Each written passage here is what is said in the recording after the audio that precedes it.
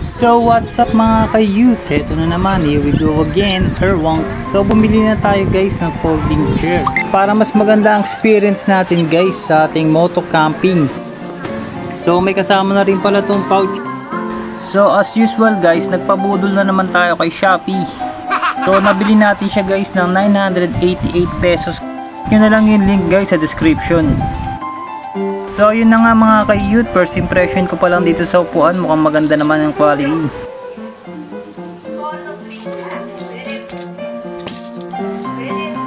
So yan, susubukan natin siya i-assemble guys. So hindi pala to hiwa-hiwalay guys, meron palang tali na nagduduktong sa mga bakal kaya hindi to agad mawawala.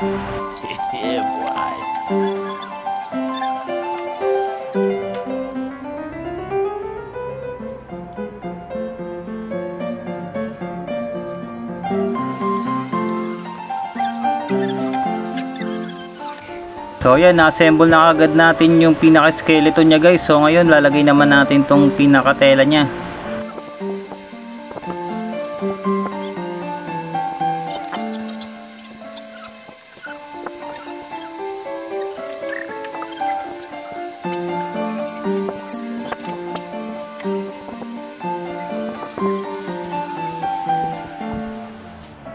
Yun, nakala ko si guys dahil ang hirap ipasok tong mga paa niya sa ilalim.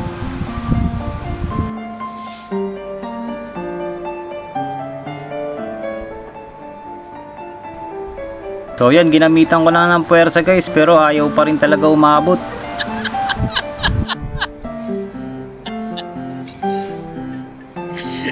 So yun, kaya pinilit ko na lang ulit, tinry ko. Baka kulang lang talaga ng puwersa. Pero nasusubukan ko na guys, parang mababali na talaga siya eh, kaya hindi ko talaga makuha eh. So yun, umabot din guys. So kailangan nyo pala muna ipasok mabuti sa taas para umabot dito sa baba. So yan mga ka-youth yung ating bagong order na kuan, folding chair. So magandang quality naman siya guys.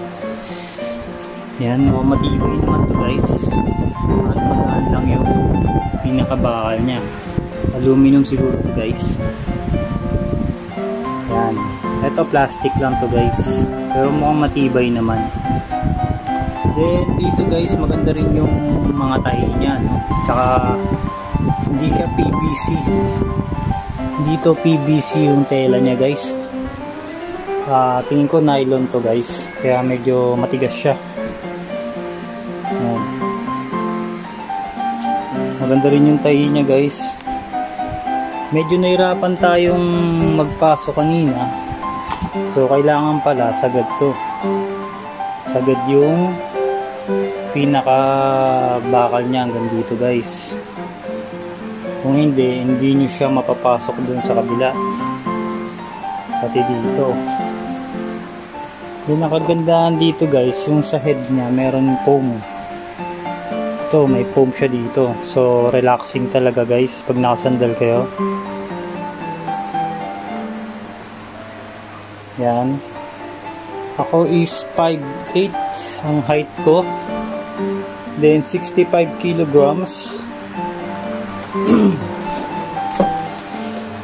so, ganito siya guys pag nakaupo na ako.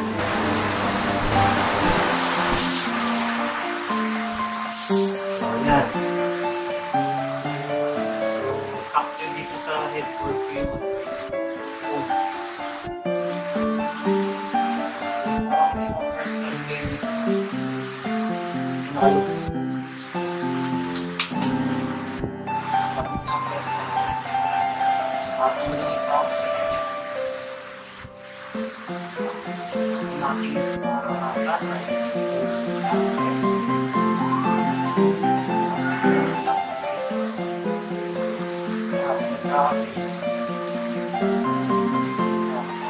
na namin ito ngayon na chair,